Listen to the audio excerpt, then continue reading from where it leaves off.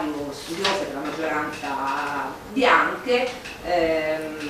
avevano dire, eh, costruito questa giornata di, di, studio intorno ai limiti eh, dell'intenzionalità e ehm, questa studiosa africana-americana che scrive questo report dice lì dietro ecco, si sentiva la solita cosa, sì noi eh, donne non, non, bianche, sì abbiamo le buone idee, ma poi deve arrivare l'accademica la, la, bianca a dire ma qua manca un po' di teoria, qui eh, ancora non ci siamo, deve, deve aggiustarci no, il, il, il, il, deve usare un pochino insomma, un, pochino il, il tiro e um, metteva appunto in, evidenza quanto ancora oggi poi le, ehm, diciamo, le, le studiose razzizzate fanno fatica poi anche a, ad, ad, avere una voce ehm, come dire, a pari livello con le accademiche bianche a livello universitario. Quindi mh, questo appunto è, è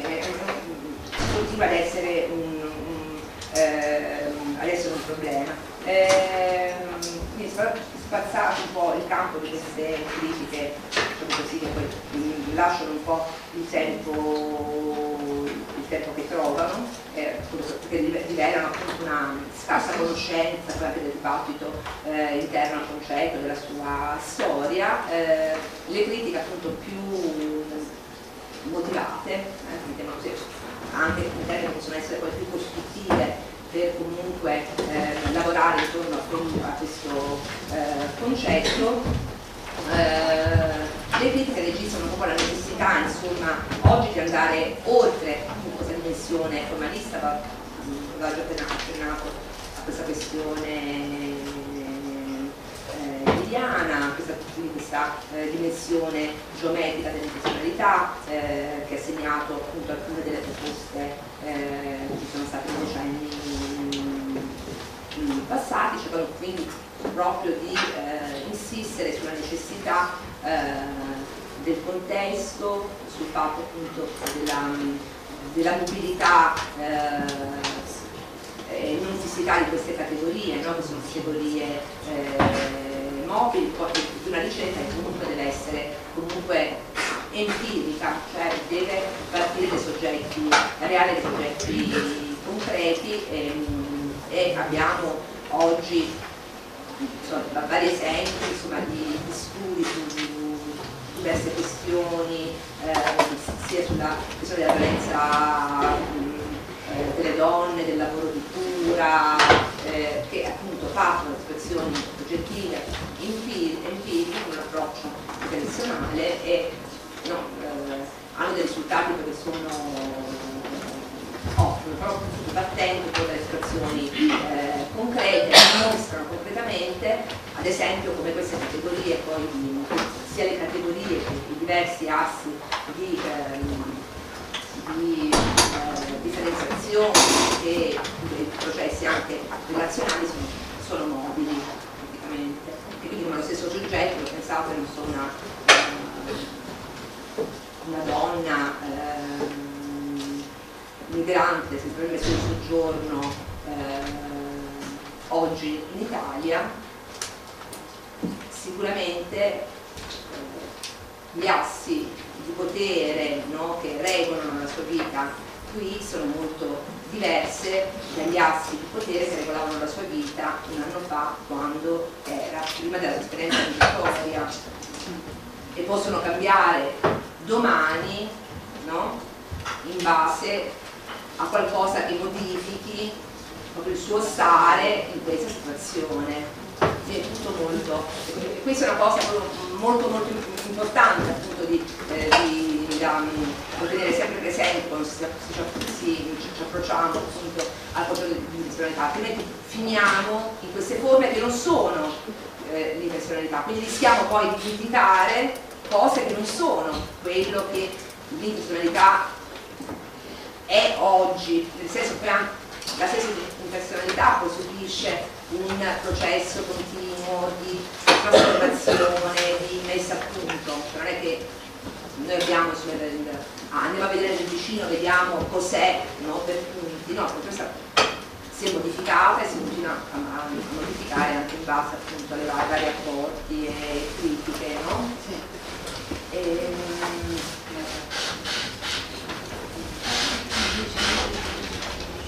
allora, chiudiamo forse eh, magari accennando appunto proprio alla base, sulla base di queste cose che diceva Vincenza, uno degli esempi eh, di problemi è cosa ce ne facciamo di questo approccio intersezionale nel contesto italiano, in cui per ragioni eh, diciamo storiche e politiche molte dei presupposti di questo dibattito sono assenti. È assente sicuramente il mantra genere, razza e classe non ha caratterizzato le culture politiche eh, italiane. È assente un, diciamo, un femminismo che in quanto tale ehm, ha dire, eh, agito direttamente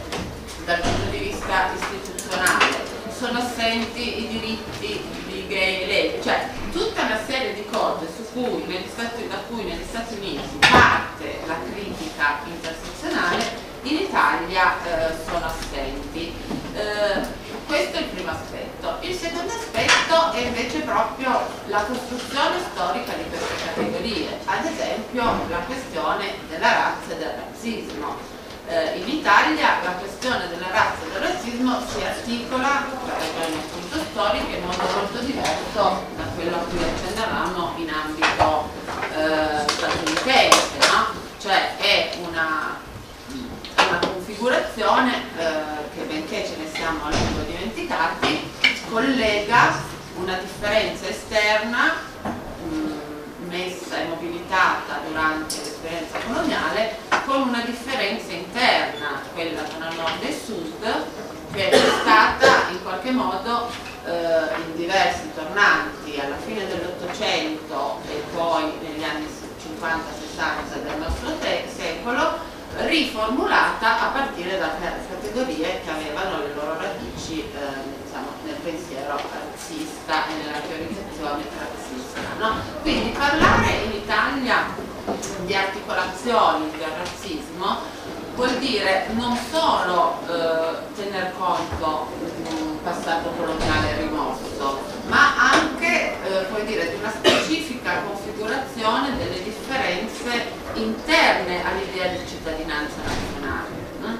Quindi questo è per fare un esempio di un problema eh, che si pone quando si cerca di contestualizzare eh, alcune di queste diciamo, teorizzazioni attorno dei rapporti sociali in un contesto diverso. Quindi il primo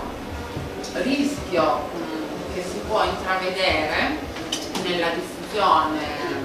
diciamo, non problematica di questo dibattito è quello che come è successo per certi versi anche un po' per il, per il dibattito sul postcoloniale o quello sul queer, che arriva prima la teoria della pratica, cioè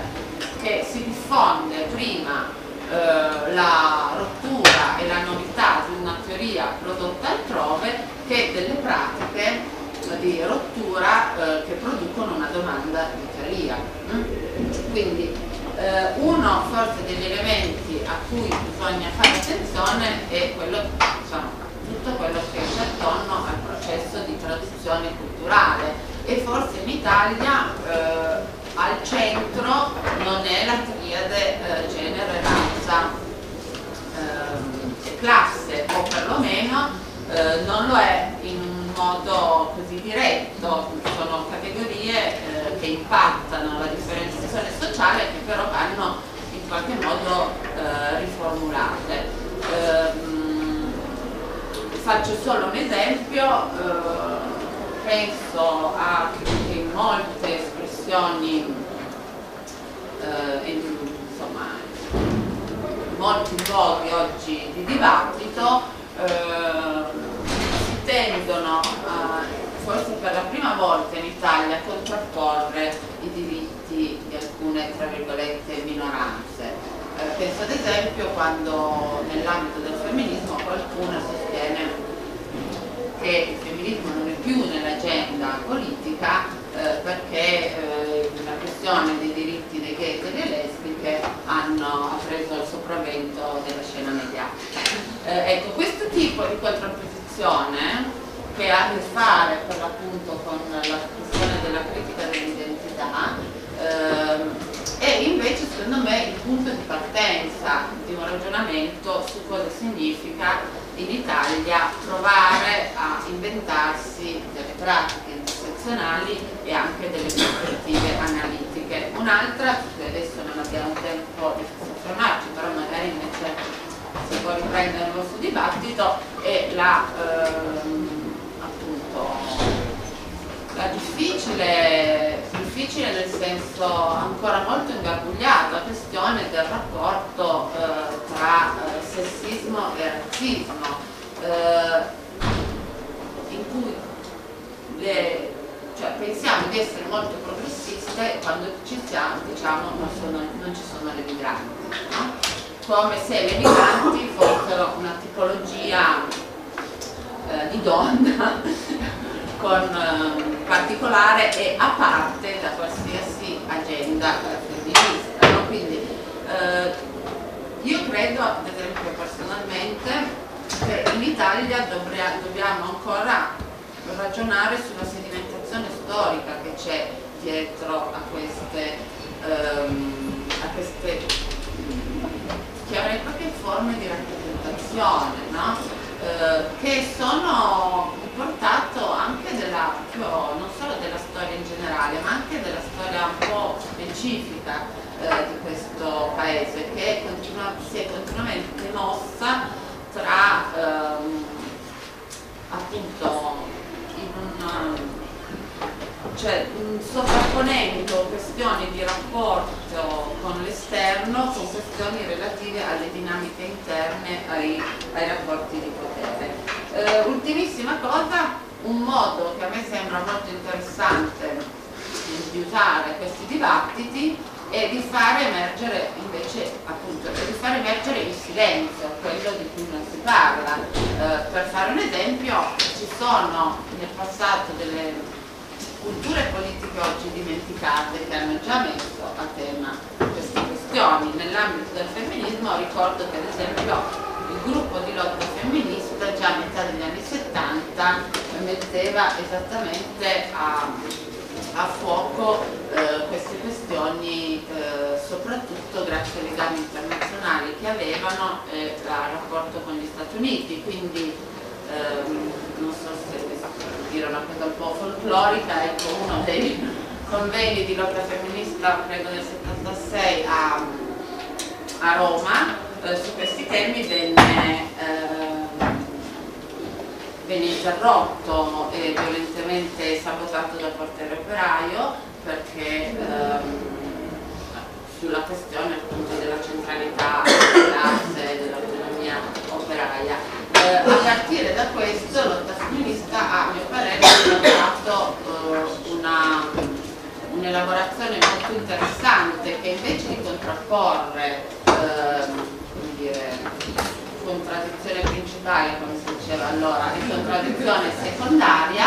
ha fatto vedere, a partire proprio da uno degli esempi che faceva Vincenzo, cioè il discorso sui corpi, sui diritti di riproduzione, dipende da dove lo si fa e in nome di chi. Perché il capitale vuole che alcune di noi si riproducano molto, anche se loro non lo vogliono, e altre non si riproducano per niente perché non le servono. No? Quindi ehm, mi sembra uno dei degli argomenti, cioè delle elaborazioni che andrebbero riprese e sicuramente riattualizzate. Che anche poi la serietà, perché oggi a questo punto no? tutta una, anche sul livello giornalistico, spesso questi articoli, migranti che hanno tanti figli, e diventa un problema. Poi si fa, magari tre giorni dopo c'è la cosa delle culle vuote, le culle vuote poi sono quelle bianche, cioè no? mancano bambini bianchi, non si capisce, ma i bambini se ne fanno troppi o se ne fanno, fanno pochi. No? Chi? Eh, chi, chi eh, quindi anche un tema insomma oggi abbastanza forte si parla dell'altro. Cosa noi ci fermiamo non perché non abbiamo altro da dire anzi, ma perché ci tenevamo insomma, molto ad avere almeno una mezz'oretta di dibattito, di dibattito con voi. O magari perché abbiamo detto delle cose molto scontate o altre troppo critiche. Sono domande, riflessioni.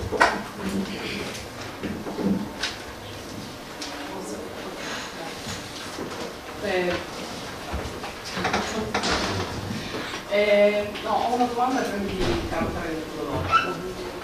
Eh, io vi ho seguito molto bene quando avete voluto eh, diciamo così, rintracciare la cifra dell'intersezionalità nel superamento del monismo dei movimenti identitari. Credo che in quel particolare contesto storico la critica intersezionale sia stata effettivamente indispensabile e cruciale nel mostrare, mostrare l'elemento censurante di, di, questi movimenti. Ehm, onestamente eh, vi seguo meno proprio dal punto di vista metodologico, cioè relativo alle indicazioni empiriche per il superamento del paradigma additivo. Allora, l'esempio che eh, ha fatto Liliana sulla um, critica di Crenshaw all'azione positiva è eccellente e molto chiaro,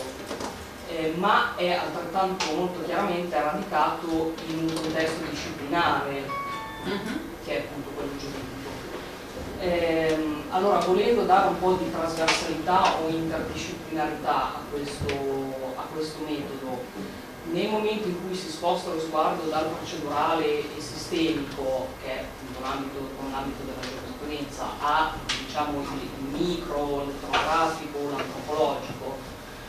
ehm, io lo dico candidamente, a volte non riesco a capire in che cosa eh, il metodo intersezionale si differenzi da una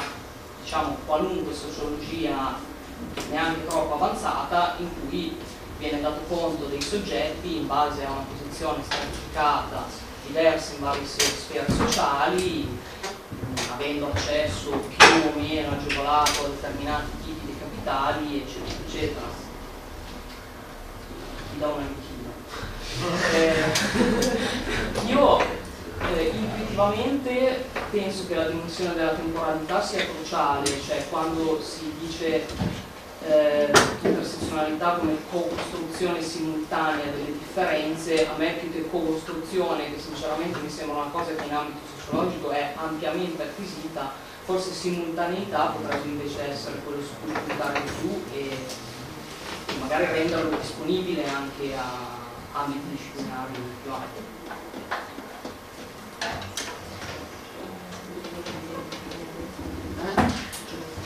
Vediamo.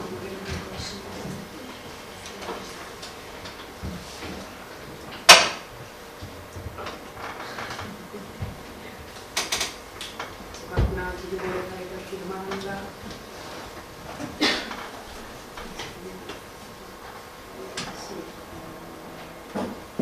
Dunque, ehm, in effetti secondo me il problema è un po' anche nel nome, no? E in, in cioè che cosa chiamiamo intersezionale. Uh, perché quello che dici tu, appunto a cui accennavo anche prima, ad esempio io non penso che il paradigma di Crenshaw così com'è eh, si possa tanto applicare fuori dall'ambito eh, giuridico, cioè non sia molto efficace, non solo perché in qualche modo mi sembra di capire, se ho capito bene quello che dici tu, eh, è già stato fatto ed è ampiamente eh, praticato, no? ma soprattutto perché eh, quello che è stata appunto un po' la critica geometrica eh, all'elemento eh, formale che però diventa anche eh,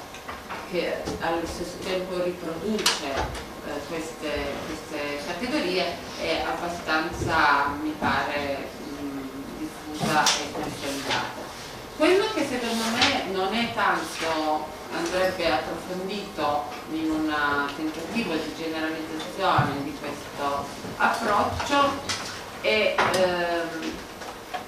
dire, è invece una sorta di rapporto e di variabilità nella gerarchia delle rilevanze, perché eh, come si diceva prima, c'è un problema contemporaneamente di, di contesto socio-politico e eh, di che, quello che dici tu è riferito alla temporalità. No? Ci sono i due aspetti eh, che si intrecciano eh, in cui molto spesso invece quando eh, altri tipi di analisi tendono a storicizzare solo una delle, degli assi di differenziazione, eh, lasciando in qualche modo ehm, come sospesi o congelati gli altri. Ecco, in questo trovo che le sollecitazioni che arrivano dall'interserzionalità possono essere, eh, cioè, possono essere utili, ma possono essere utili soprattutto appunto, cioè, eh, poi qui il discorso è molto complesso, a storicizzare eh, queste categorie, la stessa categoria di intersezionalità non è che ci arriva da una, né da una necessità superiore, cioè ci arriva da una storia eh, che l'ha costruita. Eh, e così come l'altro discorso che andrebbe aperto è, mh, mm, però qui magari mh, mm, appunto serve una approfondimento, nelle letture, eccetera, e eh, di cosa parliamo? Cioè parliamo di soggetti, parliamo di rapporti sociali, parliamo di relazioni sociali, parliamo di categorie di analisi, perché molto spesso vengono confuse, no? Cioè si parla di rapporti sociali e di soggettività come fosse la stessa cosa. Recentemente appunto ho sentito parlare eh, di soggettività intersezionali e di, ehm, sì, e di soggetti intersezionali che a, me fa un po' problema, nel senso che eh, sembra, come dire, eh, io non sono un'intersezione, mm? cioè non sono di più, c'è qualsiasi soggetto e di più di intersezione. Eh, l'altro elemento che adesso appunto questa tua domanda mi, mi sollecita e che mi sono dimenticata e, e che forse questo approccio ci permette di tematizzare una cosa che è stata tematizzata da molte studiose prima, per dire in primis appunto da Teresa De Lauretis, eh, che è l'idea stessa di soggetto cioè di un soggetto che non è solo in conflitto eh, con un esterno, ma è internamente contraddittorio,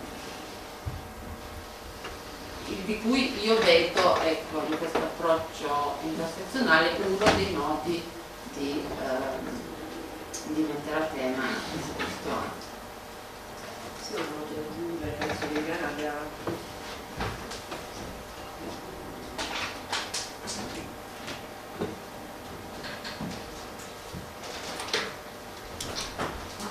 voluto aggiungere, penso che Viviana abbia presenza delle donne migranti nel caso, no? che è collegata a una immigrazione che va bene, a un'immigrazione quindi finalizzata al lavoro, va bene, collegata nella clandestinità anche grazie alle leggi che sono fatte apposta no? per far rimanere il lavoro nero. L'intersezionalità potrebbe essere anche una chiave di lettura ma anche di lotta nei confronti comunque dei diritti eh, che questi soggetti, queste donne, queste madri, queste lavoratrici hanno all'interno del paese in cui stanno vivendo, del nostro. Cioè, proprio perché in Italia eh, è difficile, cioè il dibattito sull'intersezionalità fa fatica eh, a emergere per una questione storica, culturale, perché non abbiamo tutto il background che hanno gli States rispetto all'immigrazione, rispetto all'università eccetera, eccetera. Eh, il discorso dell'intersezionalità come potrebbe essere utilizzato anche per eh, far emergere la questione e se c'è qualche collettivo, qualche forza femminista, più o meno femminista che è difficile rispondere, ah, molto, molto difficile. Del che si provo, poi molto si è. difficile perché poi appunto eh, insie- mi sembra, eh, sì che devi rispondere se può essere usato come strumento di, di lotta, immagino dalle donne Sì, già certo. stesse, perché comunque sono sì, molto anche consapevoli dei propri diritti e quindi appunto eh, no, su questo non posso essere io, non so come dire, a, a- a dire, ehm, cioè posso rispondere semmai se a me può offrirmi qualche ehm, chiave ehm, ehm, per ad esempio smontare alcune retoriche di tipo razzista e sessista che continuamente no? cioè inchiodano appunto no? una serie di, di soggetti, le donne eh, migranti, le badanti, le corpi, sicuramente questo a me può, no? questo strumento può essermi utile per oppormi a eh, certe forme appunto di categor- categorizzazioni fisse che poi appunto sono funzionali al mantenimento eh, no, di una certa politica razzista e, e sessista, non so se- ma non so se ho capito bene Sì, la no, tua... No, se cioè, può essere chiave di lettura questa teoria di cui abbiamo parlato Sì, ma ci sono poi secondo me anche degli esempi, un po' qualcosa insomma è stato già fatto. Non so se poi in maniera esplicita usare il termine- di intenzionalità, eh, ma appunto dicevamo che non è importante che ritroviamo insomma il termine, ma mi sembra con fatica eh, in alcuni casi c'è stato anche un cambio proprio di delle maniere appunto di approcciare questa questione, mi sembra questi pensiamo, lo so, cioè non mi viene in mente, poi sarebbero tanti delle ricerche cioè cosiddette donne velate, appunto che no? Mm, facendo proprio un tipo di approccio che potremmo definire eccezionale, hanno appunto messo in luce anche la, le maniere diverse appunto di portare il velo, sia una, come dire, una linea di portare il velo ed essere musulmana, portare il velo ed essere fondamentalista, portare il velo ed essere oppressa, per esempio, oppure lo so, per rispetto al lavoro di cura, di cose delle donne migranti, esistono, cominciano a essere prodotte una serie di, di ricerche che secondo me grazie anche, anche se non esclusivamente a questo tipo di approccio, ehm, cominciano insomma a liberarsi ehm, di una serie insomma, di, di storie che ci portavamo, portavamo insomma, dietro, sicuramente continueremo a portarci dietro eh, a lungo perché la situazione non è proprio rosea, comunque può essere un punto di inizio. E poi credo che forse mm, quello che può essere utile, io non sono una fan del nome. Eh, in Italia, come è successo anche per altri tipi di dibattito, eh, credo che quello che può essere utile è veramente aiutarci a vedere quello che non viene tematizzato o aiutarci a mettere a tema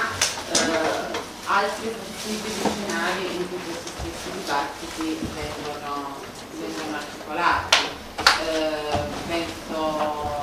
ecco, non so, mm, cioè,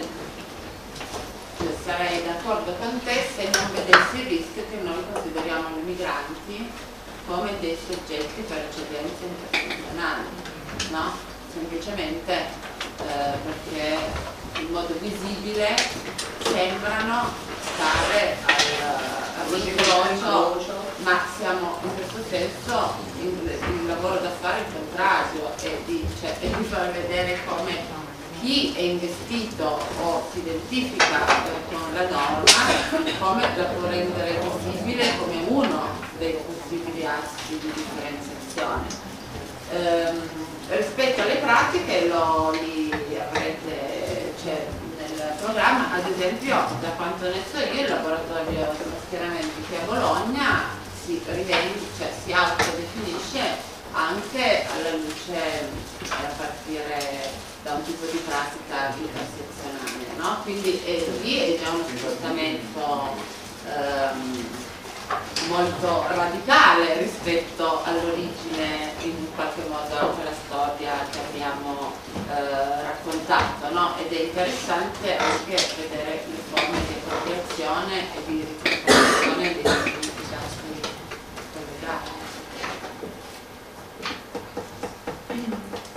Io direi di chiudere. Hai una domanda? Sì. Vai. Volevo partire da mm, quello che si diceva adesso della dell'economia, no? che è un tema che, va, che naturalmente ci rivolge dentro a chi fa pratica politica anche dentro i movimenti, nel senso che la forza dirompente di eh, smettere di definire un'identità univoca e attorno a quella ridefinire una norma che comporta un altro adeguamento a quella norma e quindi diciamo che si eh, ehm, sta di fronte a, alle linee di potere replicando esattamente eh, le stesse dinamiche interne no?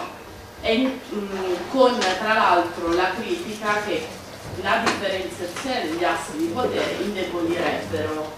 eh, indebolirebbero le pratiche, no? mentre invece una critica che parte da sé, dalla riappropriazione della narrazione di sé, dal racconto di sé, ha un impatto molto eh, più dirompente sulla realtà, perché è una critica molto più totale, soprattutto una critica che si riversa nell'affermatività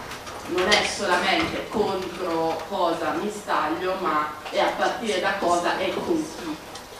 non eliminando diciamo, la conflittualità che comporta la non identificazione, ma assumendola come punto di forza e di partenza. Ecco, io penso che riuscire a pensare una forma di organizzazione politica dentro ai movimenti che stiano all'altezza di queste critiche è rivolgere lo sguardo a mh, sé, no? prima ancora che eh, verso l'esterno, siano veramente l'unica forma, di, eh, cioè l'unica possibilità per, dopo il fallimento di molte esperienze importanti, però siano l'unica possibilità di far emergere esattamente e far esplodere le contraddizioni del mondo in cui viviamo adesso, no? E, um, eh, perché come è simultanea diciamo, la costruzione dell'identità, no? la costruzione eh, che subiamo dell'identità, altrettanto simultanea deve essere la, eh, la messa a critica e la, eh, l'ideazione di pratiche che riescano a tenere dentro quella cosa là, come ehm, mi viene in mente nel, nel, nelle, nelle, rivoluzioni che hanno interessato il, il Maghreb, no? nonostante adesso ci sia una fase di reazione, però là dentro diciamo che con tutte le differenze del caso, però una emersione di parola delle donne è stata uno dei tratti più interessanti di quella, di quella cosa là, cioè che cosa vuol dire effettivamente un movimento adesso? Vuol dire eh, riprendere il potere oppure vuol dire cambiare anche le relazioni e i rapporti interni alla società? Eh, quello è secondo me uno dei tratti più, più, più importanti e più interessanti della, del, della modernità.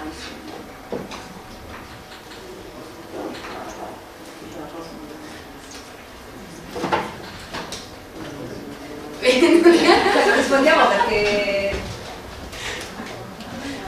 Sì. Non ci serve, se c'è una domanda, siamo d'accordo.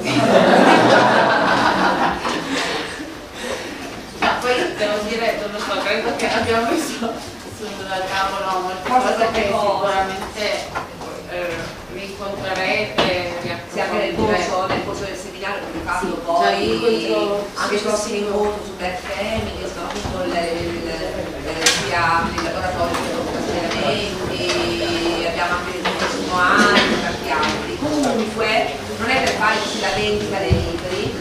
eh, ma se eh, voi sono interessati a un approfondimento non solo sulla questione dell'intenzionalità, ma anche su altri temi che poi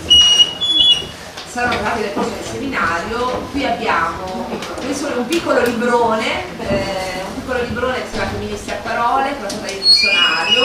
qui trovate insomma delle bibliografie espositive degli argomenti, oppure un libricino più piccolo dove c'è una parte proprio di costruzione storica e teorica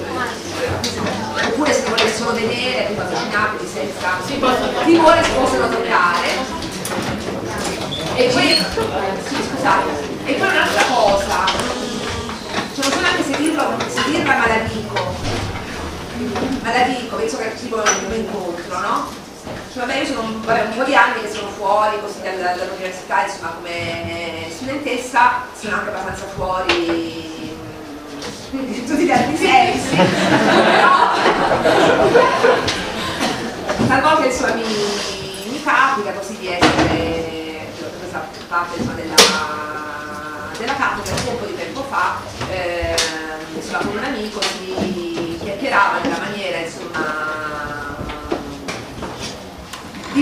diversa qui in Italia rispetto al paese per noi negli Stati Uniti perché solo da noi abbiamo questo silenzio angosciante quando finisce la lezione. Perché noi abbiamo cioè questa cosa che in Italia dovremmo superare che la parte delle domande uno deve dimostrare di sapere già tutto quindi fare la domanda per far capire a chi è dietro la cattedra che io so di più e ti faccio la, la domanda intelligente la non è per sapere, avere un chiarimento, no, un po' la paura di dire, cioè, penso dire una cosa. Questa cosa, perlomeno qua, in questo seminario, vi pot- vi potete permettere c'è una modalità che è anche abbastanza, non so come, mm, siate un po' più,